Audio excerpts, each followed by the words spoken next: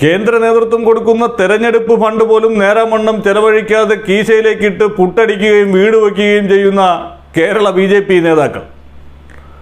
കൂടുതൽ പണം കട്ടോണ്ട് പോയി പുട്ടടിച്ച ഒരു ബിരുദനെ പാർട്ടിയുടെ ഔദ്യോഗിക സ്ഥാനത്ത് നിന്ന് പുറത്താക്കിയിരിക്കുന്നു.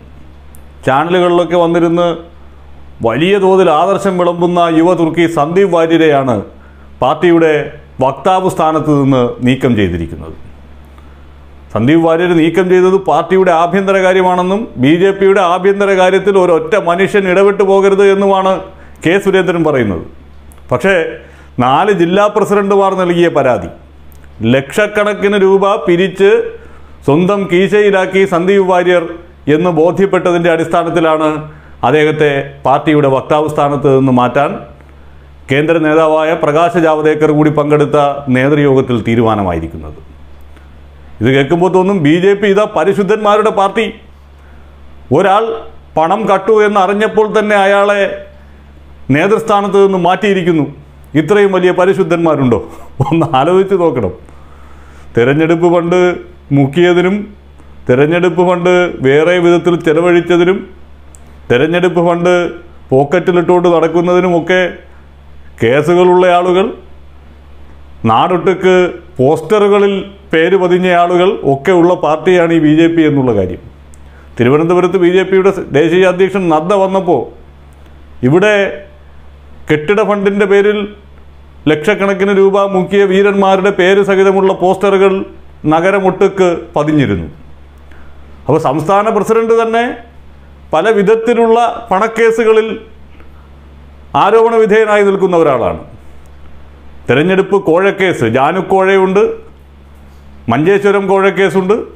അതുകൂടാതെ കുഴൽ വഴിയുള്ള പണവുമായി ബന്ധപ്പെട്ട് ആരോപണ വിധേയനായ വ്യക്തിയാണ്. അങ്ങനെ സംസ്ഥാന പ്രസിഡന്റ് മുതൽ ഇങ്ങേയറ്റം ഒരു ഔദ്യോഗിക വക്താവ് വരെ പണാപഹരണ കേസുകളിൽ ഇങ്ങനെ മുഴുകി ആനന്ദ നിർവൃതിയിൽ ആറാടി നിൽക്കുന്ന ഒരു സമൂഹമായി കേരള ബി നേതൃത്വം മാറിയിരിക്കുന്നു എന്ന് നേരത്തെ ഉണ്ടായിരുന്ന ആരോപണങ്ങൾ ശരിവച്ചുകൊണ്ട് ഒരു വീരനെ പാർട്ടിയുടെ നേതൃസ്ഥാനത്ത് നിന്ന് പുറത്താക്കിയിരിക്കുന്നു.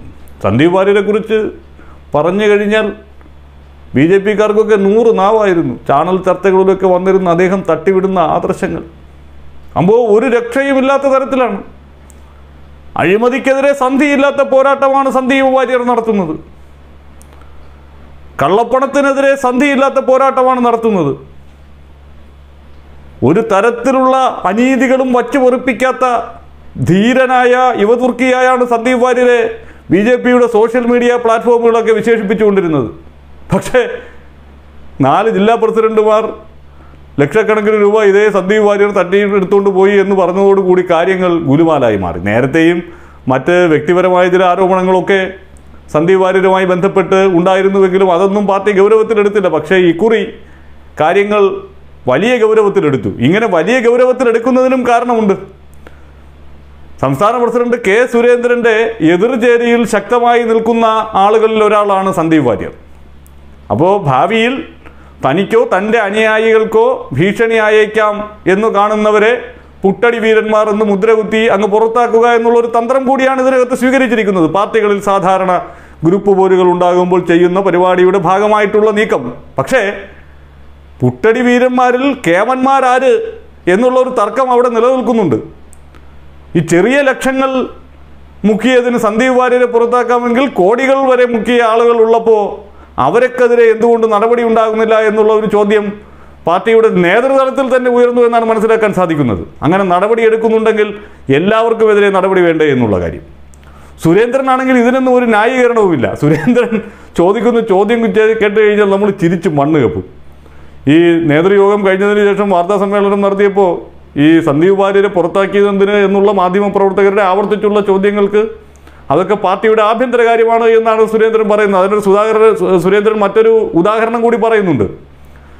അപ്പം നിങ്ങളുടെ ഏതെങ്കിലും ഒരു ചാനലിൽ ഒരു മാറ്റമുണ്ടായാൽ നിങ്ങളത് ബ്രേക്കിംഗ് ന്യൂസ് കൊടുക്കുമോ എന്നാണ്. അപ്പോൾ ചാനലിനോട് തുല്യമാണ് ഞങ്ങളുടെ ബി ജെ പി പാർട്ടിയും അതുകൊണ്ട് നിങ്ങൾ ഇങ്ങോട്ട് ഞങ്ങളുടെ ആഭ്യന്തര കാര്യങ്ങളിൽ ചോദിക്കണ്ട എന്നുള്ളതാണ്. ഞാൻ എന്റെ വായിൽ നിന്ന് എന്തെങ്കിലും കേൾപ്പിക്കാമെന്ന് നിങ്ങൾ വിചാരിക്കണ്ട. സന്ദീപ് വാര്യരെ വക്താവ് സ്ഥാനത്ത് നീക്കം ചെയ്തിരിക്കുന്നു എന്നുള്ളത് സത്യം. സംസ്ഥാന അധ്യക്ഷനും സന്ദീപ് വാര്യനും തമ്മിൽ ഒരു ചെറിയൊരു ഫൈറ്റ് നടക്കുന്നുണ്ട്. ഇന്റേണൽ വാർ ഉണ്ടെന്നുള്ളൊരു വാർത്ത നിരന്തരമായിട്ട് വരുന്നുണ്ട്. അപ്പൊ അതിന് എന്തെങ്കിലും വാർത്ത ഉണ്ടല്ലേ അല്ല എനിക്കതറിയില്ല. ഈ പരാതി ലഭിച്ചതിന്റെ അടിസ്ഥാനത്തിലാണ് ഞാൻ പറഞ്ഞല്ലോ ഈ ചോദ്യത്തിൽ നിങ്ങൾ കൂടുതൽ ചോദ്യങ്ങൾ മാധ്യമങ്ങളുമായിട്ട് പങ്കുവെക്കാൻ കഴിയുന്ന കാര്യം ഞാൻ പറഞ്ഞു. ഞങ്ങളുടെ പാർട്ടിക്ക് അതിന്റെതായിട്ടുള്ള ചില വ്യവസ്ഥാപിതമായിട്ടുള്ള മാർഗങ്ങളുണ്ട്. അതിൽ പൊതുസമൂഹവുമായി ബന്ധപ്പെടുന്നതും ജനങ്ങളുടെ മുമ്പിൽ പറയേണ്ടതുമായ കാര്യങ്ങൾ ഞങ്ങൾ നിങ്ങളെ യഥാസമയം അറിയിക്കുന്നു. ഞങ്ങളൊരു സംഘടന നടത്തിക്കൊണ്ടു പോവുകയാണ് ആ സംഘടനയ്ക്കകത്ത് ഞങ്ങളുടെ കാര്യങ്ങൾ ഇപ്പോൾ നിങ്ങളുടെ ഒരു ചാനലിൽ വരുത്തുന്ന മാറ്റങ്ങൾ. നിങ്ങൾ അത് ബ്രേക്കിംഗ് ന്യൂസ് ആയിട്ട് നിങ്ങൾ കൊടുക്കാറുണ്ടോ? സംഘടനകൾ എന്ന് പറയുന്നത് അവർക്ക് സംഘടനാപരമായും രാഷ്ട്രീയപരമായിട്ടുമുള്ള ഉത്തരവാദിത്തങ്ങൾ. അപ്പൊ രാഷ്ട്രീയപരമായിട്ടുള്ള ഉത്തരവാദിത്തങ്ങളെ സംബന്ധിച്ചുള്ള ചോദ്യങ്ങൾക്ക് എല്ലാ കാര്യങ്ങളും ഞാൻ വിശദീകരിച്ചു. ബാക്കി ഞങ്ങളുടെ ഇന്റേണൽ കാര്യം. ഒരാൾക്കെതിരെ മാത്രമേ നടപടിയുള്ളൂ. അച്ചടക്ക നടപടി ഒരാൾക്കെതിരെ എല്ലാവർക്കെതിരെ എടുക്കണം. നിങ്ങളെന്താ പ്രതീക്ഷിച്ചാണോ ഞാൻ-.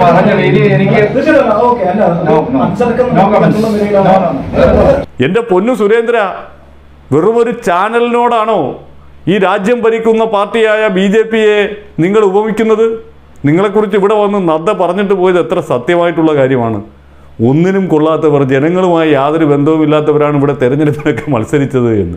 നിങ്ങളെക്കൊണ്ട് ഒരു ചുക്കിനും ചുണ്ണാമ്പിനും കൊള്ളില്ല എന്ന് അങ്ങേര് പച്ചയ്ക്ക് പറഞ്ഞിട്ട് പോയി. ഇങ്ങനെ ഒരു ചാനലിൽ നടക്കുന്ന എന്തെങ്കിലും ഒരു മാറ്റം ബ്രേക്കിംഗ് ന്യൂസായി കൊടുക്കുമോ? അതുകൊണ്ട് നിങ്ങൾ ഞങ്ങളുടെ ആഭ്യന്തര കാര്യവും വാർത്തയായി കൊടുക്കേണ്ട കാര്യമില്ല അത് അന്വേഷിക്കേണ്ട കാര്യമില്ല എന്ന് പറയുന്ന വിഡിത്തമുണ്ടല്ലോ.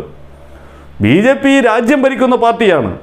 ആ പാർട്ടിയുടെ ഒരു സംസ്ഥാന ഘടകത്തിൽ അതിന്റെ പ്രധാനപ്പെട്ട നേതൃപദവിയിലിരിക്കുന്ന അതിന്റെ കാര്യങ്ങൾ പുറത്തു പറയാൻ നിയോഗിക്കപ്പെട്ടിരിക്കുന്ന ഒരു വക്താവിനെ പണാപകരണവുമായി ബന്ധപ്പെട്ട് ആ സ്ഥാനത്ത് നിന്ന് പുറത്താക്കുമ്പോൾ അത് അന്വേഷിക്കേണ്ട ബാധ്യത ഇവിടുത്തെ മാധ്യമങ്ങൾക്കുണ്ട്. അവരത് ചോദിക്കും. അപ്പോൾ നിങ്ങളുടെ ചാനലിൽ എന്തെങ്കിലും മാറ്റമുണ്ടായാൽ ബ്രേക്കിംഗ് ന്യൂസ് കൊടുക്കുമോ എന്നുള്ള മരമണ്ടൻ ചോദ്യമല്ല ചോദിക്കേണ്ടത്. അതിനുള്ള ഉത്തരം നദ്ദ തന്നെ തന്നിട്ട് പോയിട്ടുണ്ട്. എന്തൊരു ഗതികേടാണ് ഈ പാർട്ടിക്ക്? ഇങ്ങനെയാണോ ഒരു രാഷ്ട്രീയ പ്രസ്ഥാനത്തെ അതിന്റെ വേരുറപ്പിക്കുന്നതിന് വേണ്ടിയിട്ടുള്ള ശ്രമങ്ങൾ നടത്തേണ്ടത്? ഒരു വിധത്തിലും ഈ പാർട്ടി ഈ നാട്ടിൽ രക്ഷപ്പെടാനുള്ള സാധ്യതയില്ല എന്ന് പിന്നെയും പിന്നെയും ഇവർ അരക്കെട്ടുറപ്പിക്കുകയാണ് ഈ തീവ്ര വർഗീയ നിലപാടുകളൊക്കെ മാറ്റിവെച്ച് ജനങ്ങളെ കയ്യിലെടുക്കണം എന്നുള്ള ഒരു സന്ദേശമാണ് പ്രകാശ് ജാവദേക്കറെ ഇവിടെ കൊണ്ടുവന്നതിൽ കൂടി ബി ഉദ്ദേശിക്കുന്നത്. അപ്പോൾ അദ്ദേഹത്തെ പോലെയുള്ള ഒരു ദേശീയ നേതാവ് ഇവിടുത്തെ ചുമതലക്കാരനായി മാറുമ്പോൾ അങ്ങനെ തീവ്ര വർഗീയത മാറ്റി ആളുകളെയൊക്കെ ഒരുമിച്ച് കൊണ്ടുവന്ന് കാര്യങ്ങൾ പെട്ടെന്ന് നേടിയെടുത്തു കളയാമെന്ന് കരുതിയിരിക്കുമ്പോഴാണ് ഇങ്ങനെയുള്ള മണ്ടത്തരങ്ങൾ പിന്നെയും പിന്നെയും സംഭവിക്കുന്നത്. ഇങ്ങനെയുള്ള പണ അപഹരണം അടക്കമുള്ള കാര്യങ്ങൾ ഗ്രൂപ്പിസം ഒക്കെ മറനീക്കി കൂടുതൽ സജീവമായി പുറത്തു വന്നുകൊണ്ടേയിരിക്കുന്നത്. ഇങ്ങനെയൊരു പാർട്ടിക്ക് എങ്ങനെയാണ് ഈ നാട്ടിൽ രക്ഷപ്പെടാനാവുക? സന്ദീപ് വാര്യരെ കുറിച്ച് നേരത്തെ പറഞ്ഞല്ലോ. അദ്ദേഹമൊക്കെ വന്നിരുന്ന് തട്ടിവിടുന്ന കാര്യങ്ങൾ അദ്ദേഹമൊക്കെ ഫേസ്ബുക്കിൽ എഴുതി വിടുന്ന കാര്യങ്ങൾ അതിന് നേരെ വിപരീതമായിട്ടുള്ള കയ്യിലിരിപ്പാണ് പ്രവൃത്തിയിലൂടെ കാണിക്കുന്നത് എന്നുള്ളതാണ്.